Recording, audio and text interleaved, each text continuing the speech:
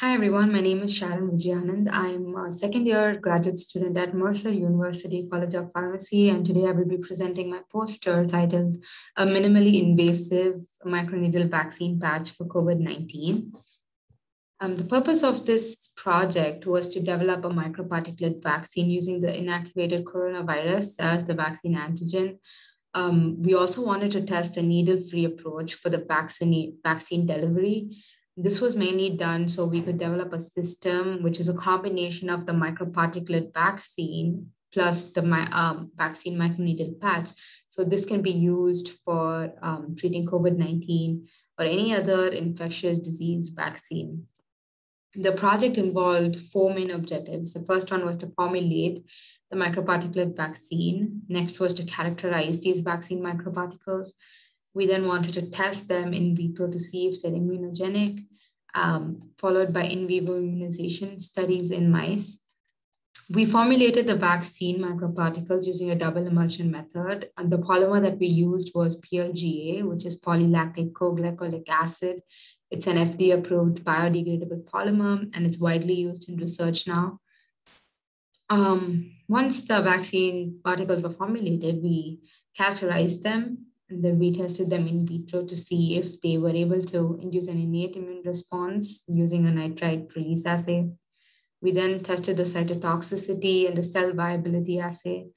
Uh, we also tested the antigen presentation by quantifying the major histocompatibility complex class 1, 2, and their co-stimulatory molecules on the surface of dendritic cells.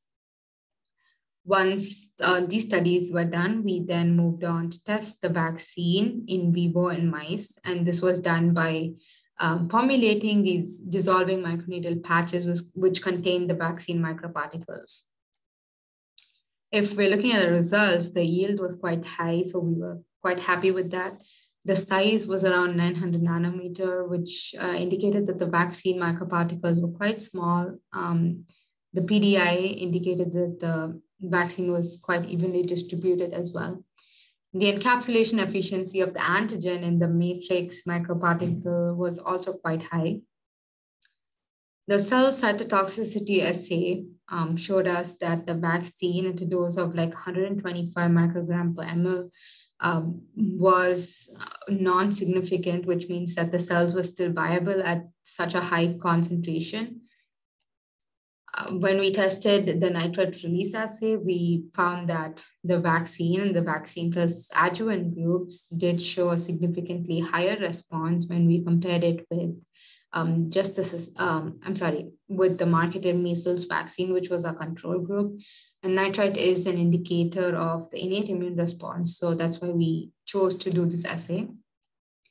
We then tested the antigen presentation ability of the vaccine when um, stimulated um, with dendritic cells. And as you can see from the graphs, the vaccine and the vaccine plus adjuvant groups were able to induce these um, surface molecules at a significant level when we compared it with the marketed measles vaccines, which was our control. And all of it, the MHC1, CD80, MHC2, CD40, they all showed a significantly um, ex a good expression of the molecules on the surface of the dendritic cells. Uh, we then tested the vaccine in vivo by administering the vaccine to mice. And since this was a pilot study, um, we were limited to testing um, various antibody levels, but the IgG level is shown over here and it's still an ongoing study. So we are still testing many other parameters for this study.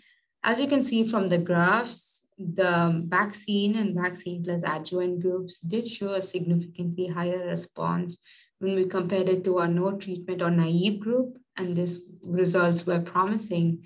So we can conclude and say that the vaccine is nano in size and it is immunogenic. It does have a strong innate and adaptive immune response in vitro.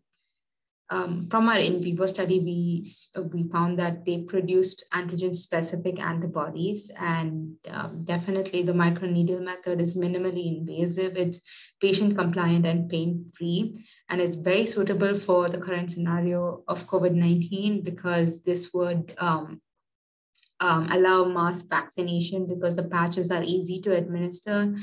Um, so they can be self-administered as well. Um, so the combination of the microparticle vaccine along with this microneedle system of administration is quite effective. And that's what we were trying to prove with the study. And this was a proof of concept study. So our future work does involve a lot of characterization study for the vaccine, also assessing um, more cell-mediated immune response and cytokines and memory markers as well. Thank you for your time.